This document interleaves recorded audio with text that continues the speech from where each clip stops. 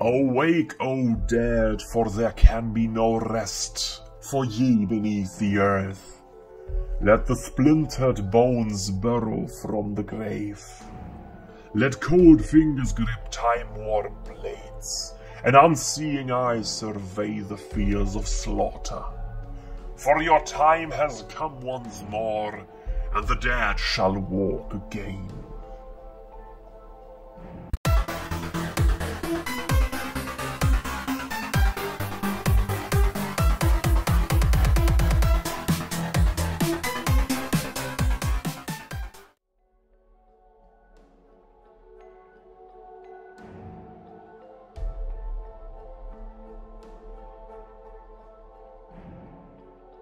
Hello everybody on this 10mm Vampire Counts Black Knight tutorial on how to paint this heavy-hitting, fast, undead cavalry unit for your Warmaster collection.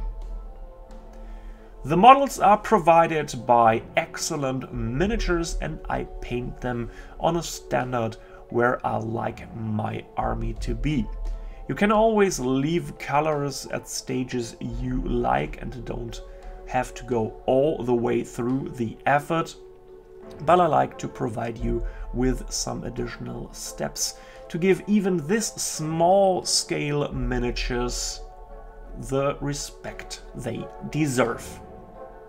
As you might recognize throughout the video, English is not my native tongue. I speak this as my first foreign language, and so you might excuse some mispronunciation or when I struggle to find the right words. On the left upper corner you always see the color I use or the color example that's part of the Citadel range by Games Workshop. And now let us dive in to these undead skeleton hordes. With the already primed cavalry stripe on my painting handle and I start applying Steel Legion drab, a dark khaki tone on all the bone and wood areas because some of these elements are underneath the model and I want to pick out all these colors before I move to further steps.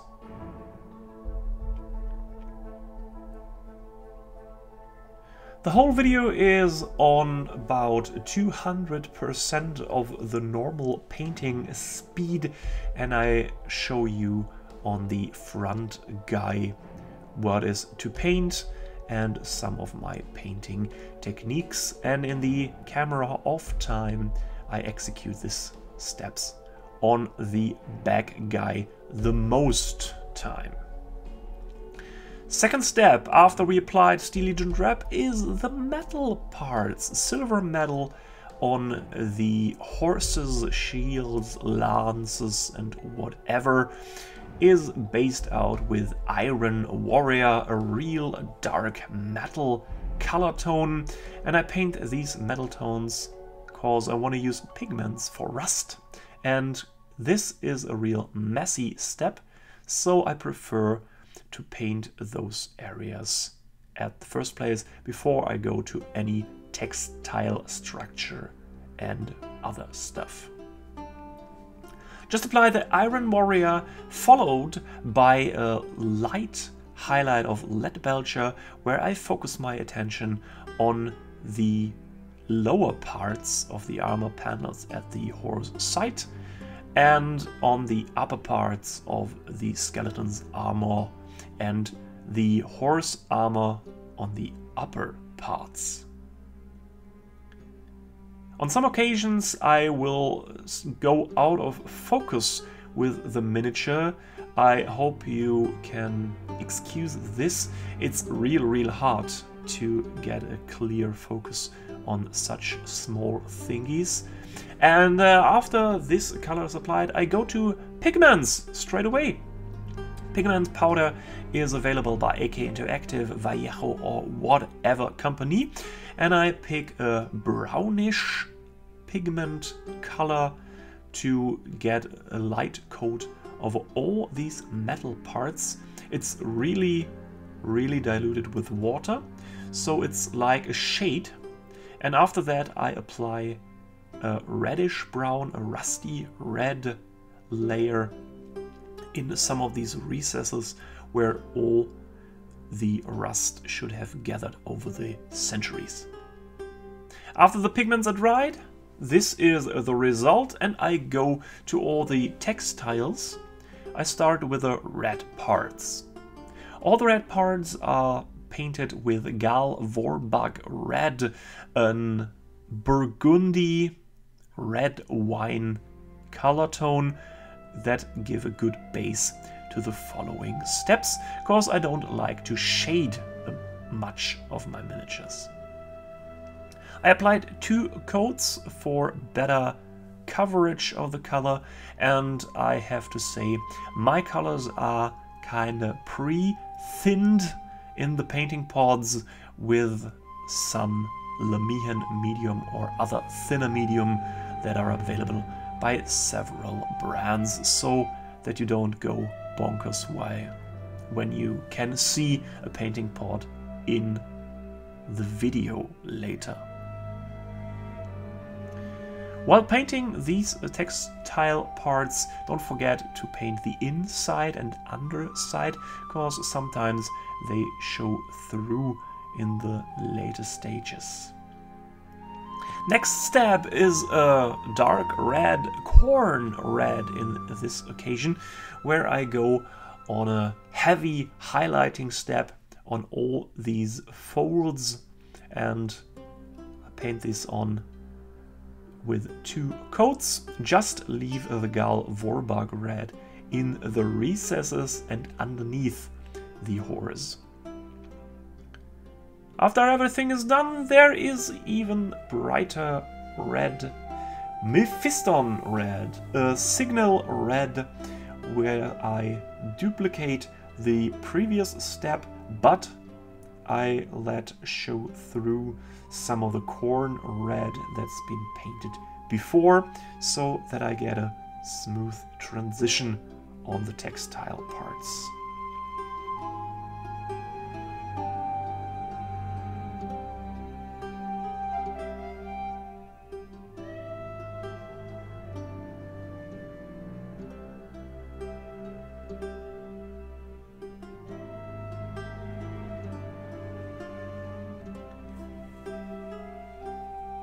Maybe you wanna ask, Dizzy, which brush size are you using on this?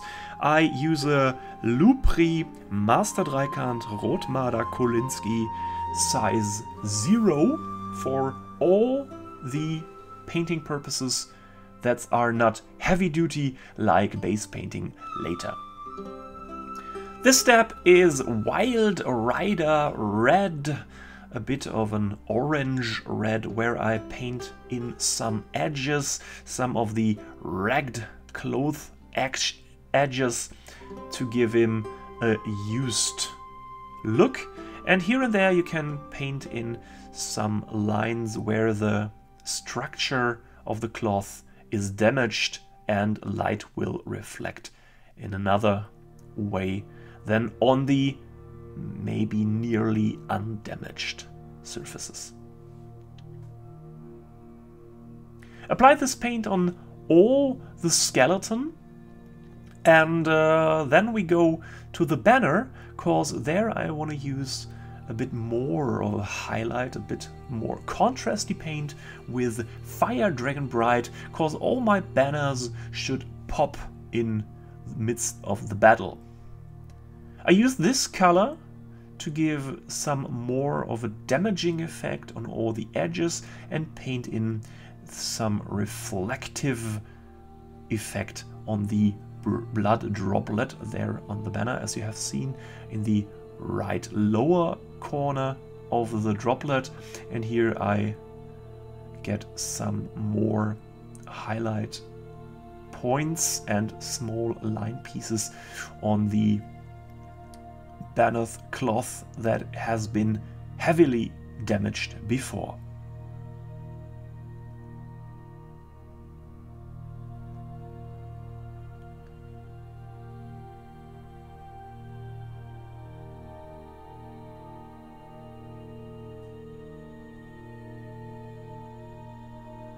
If you like to invert the color scheme on this banner, you can also go with a black banner and use the steps from my uh, tutorial on painting black. That's showing up in a second. To finish the banner, the blood droplet gets a bit of Averland Sunset in the lower right corner of the blood droplet and on the opposing side, the left upper corner, there will be a small dot of Pallid Wych Flesh to give the illusion of a gemstone effect. I think it suits Val very well on this banner. After all the red textiles are done, I go on to the black ones and cause some of these pigments and uh, painting bone stuff is really messy. I rework all the black surfaces with Abaddon Black, a real dark black tone by Citadel. There is the textiles on the horse sights. There are the uh, details on the banner, these goblet, and also the wings up there. After this, I go with a heavy highlight with Corvus Black, or in this occasion, with a mixed tone of a kinda 60 to 40 Abaddon Black and Eshin Grey cause my Corvus Black is empty and due to Brexit and the availability of Games Workshop Citadel colors here in Germany, it's uh, a kind of a compromise that I use this mixed color tone. But I think it's nearly the color gradient where Corvus Black is located nearly the same steps as on the red cloth before. Heavy highlights here and there and on the goblet and the wing on the banner I tend to use the right upper corner of the goblet and the left upper corner of the wing for this detail to give it a bit of a non-metallic metalish vibe. Next step is Eshin Grey to give it the ragged up corners like with Wild Rider Red before.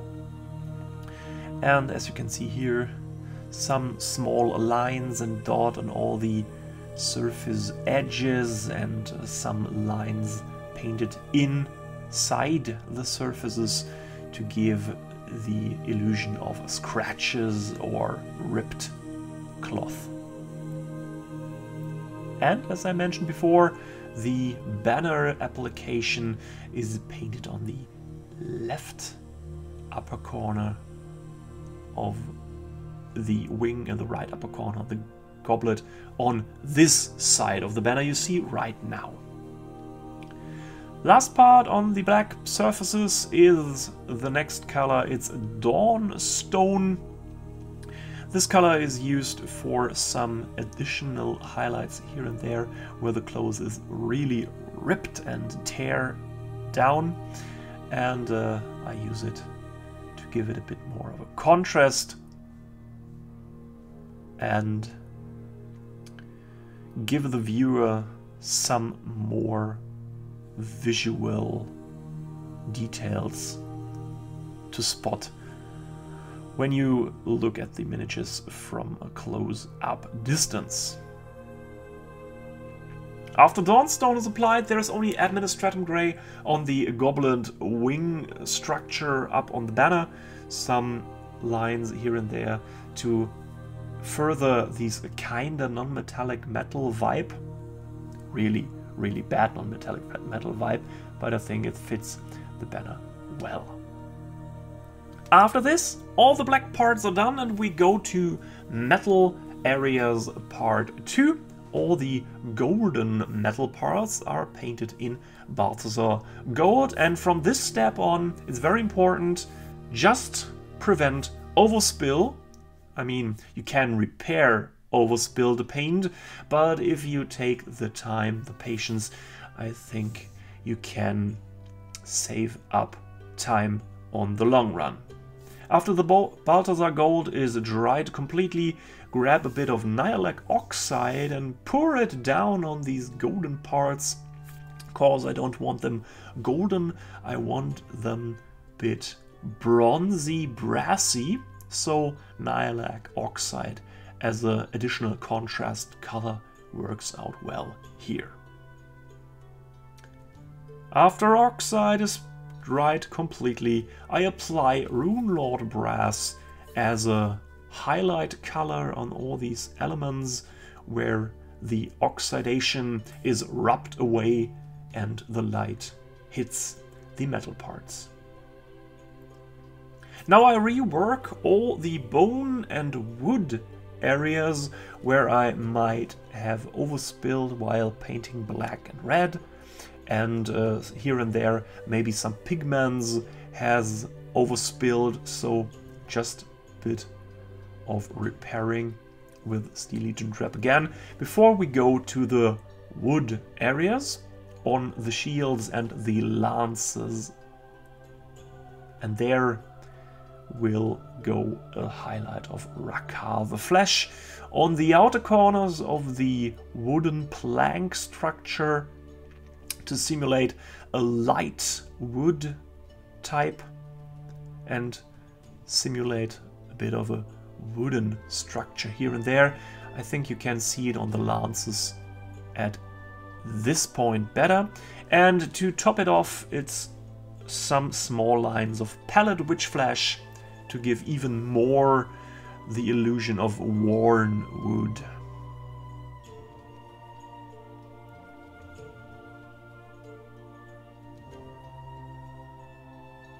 After this, let's go to the bones. The meat and bones of an undead army. Pun intended. I pick out Baneblade Brown for a light color gradient to the Steel Legion Drab and paint all the areas that are facing upwards or outwards from the skeleton's position and try to leave some of the recesses in these previous color Steel Legion Drab and some small line on the rib cage. This one is not sculpted, but I think I could paint where the color needs to be. Next up, Karak Stone. Pick out the surfaces that are on the upper and side parts of the miniature where the light would hit even more than on the Baneblade brown parts and may you can excuse that I go on the very right side of the screen here, cause as I said previously, it's very hard to stay in focus. Some final highlights with Ushabti bone on the bone parts, as you might recognize by the color's name. The final highlight, the upper parts that uh, are hit by light and all the edges and sharp edges on the bone parts, some of the knees, the uh, end parts of the leg bones, the elbows, the fingers get some of the paint to give all these small details some more definition. After this step, I want to apply some variation, some color gradation to the skeletons and so I mix up Seraphim Sepia with Lahmian Medium on a nearly 50-50 mix and apply this glaze here and there on bone parts, on random bone parts to give the illusion of corroded and discolored bone on um, some miniatures. You can pick out all the bone areas to give it a color variation and on some miniatures you can only pick maybe the head and the right hand and partial glazing steps. After that I apply Dryad Bark on the whole base or better to say earth parts of these miniatures and uh, the little leather thingies on the horse sides and uh, apply another tiny detail of Mournfang Brown there. The horse hooves need to be gray, I think. I don't know if, if this is uh, the realistic way or if the hooves would uh, be on a lighter bony color on a horse skeleton. I think this is a detail that needs to be painted. So I apply Eshin Grey on all the hooves and get to a small highlight with Dawnstone. This is applied on uh, these ragged effects just like on the textile structures. And after this one, there is not much to do. There is only the metal parts, the silvery metal parts that needs to be painted for a bit more contrast.